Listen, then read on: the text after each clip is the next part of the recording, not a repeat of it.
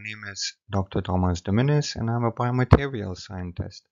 I'd like to introduce my recent review article titled Natural Polymers with Bioactive Glass Additives for Bone Regeneration, Chemistry and Trends, recently published in the Natural Products Journal.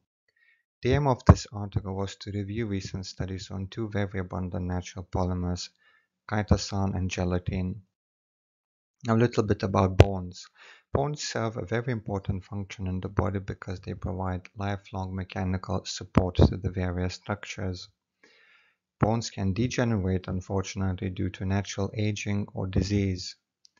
Bone tissue may not sometimes regenerate by itself without an intervention if the injury site is large and or the fracture is very severe.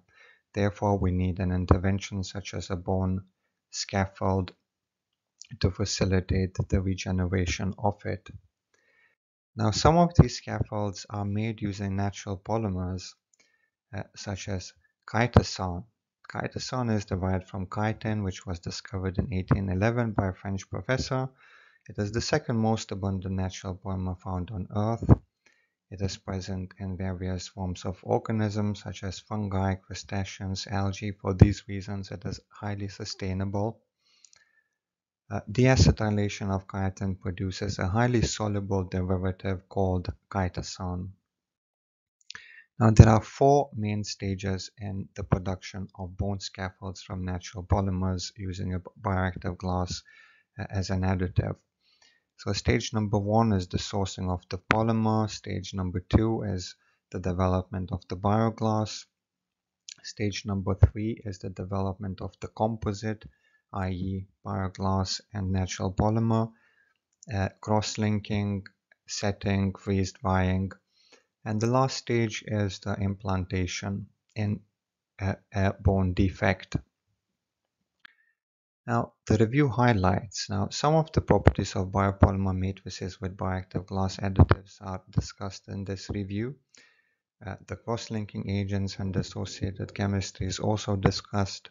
The chemistry between the harboring matrix and the bioactive glass is extensively discussed, and some successful in vivo studies are presented.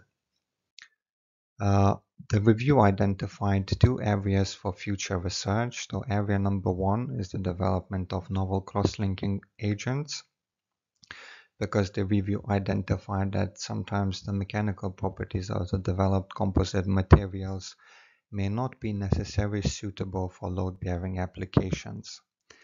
And the second area uh, for uh, future research is the standardization of methodology, which is required to align with the clinical needs and requirements. Uh, thank you very much for watching the video. I hope that the video inspires you to work on natural polymers and please feel free to contact me if you have any questions.